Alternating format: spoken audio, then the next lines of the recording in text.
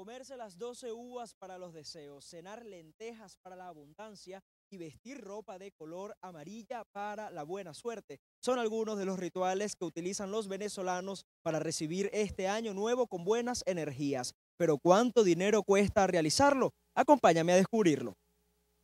En el recorrido que realizamos en el centro de Caracas nos detuvimos a conversar con los comerciantes, quienes ofrecen algunas ofertas por ser la última semana del año.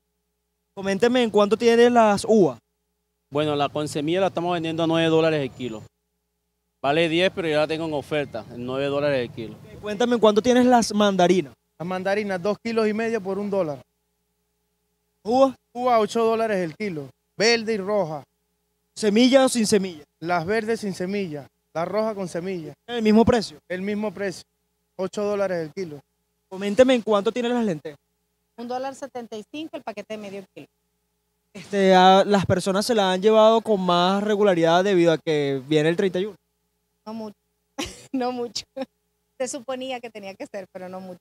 Hábleme de las promociones de la ropa interior para caballeros ahora que viene el 31 de diciembre.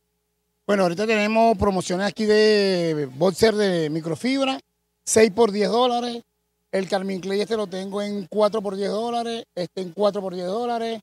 El Marry son Carmen Clay que son un poco más algodón, que viene la variedad, como lo pueden ver, en 3 por 10 dólares. Para hombres, pero para mujeres. Cuéntenme porque por aquí también las mujeres les gusta usar su ropa interior de color para llamar la buena suerte. Y más, más que todo se llevan el blanco, el negro, amarillo muy poco. ¿Y el precio? Eh, tengo este de este tipo de New Urbana a uno en 4 y 3 por 10. Tengo este que es microfibra también, uno en 3 y 2 y dos por 5. El sopa, uno en 4 y 3 por 10. Como pueden ver, pura promoción es lo que tenemos aquí.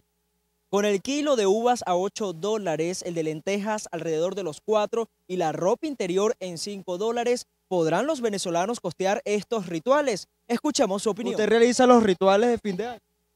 Sí, pero en estas condiciones ahorita no se puede hacer. Está siendo económico. habitual y es la tradición de todos nosotros los venezolanos. Esto de las uvas, ¿usted este año comprará uvas? Creo que difícilmente podemos comprar uva o manzana, eh, mandarina, etcétera. ¿Qué hace? En la casa, por lo general, nos ponemos la ropa interior amarilla. Sacamos las maletas. Entonces, este, y bueno, las uvas que no pueden faltar. El kilo de uvas está más o menos como en 8 dólares. ¿Usted puede costear o sea, le parece que está bien? Bueno, no he ido a ver precios. Pero como lo compramos entre varios de la familia, ahí vemos.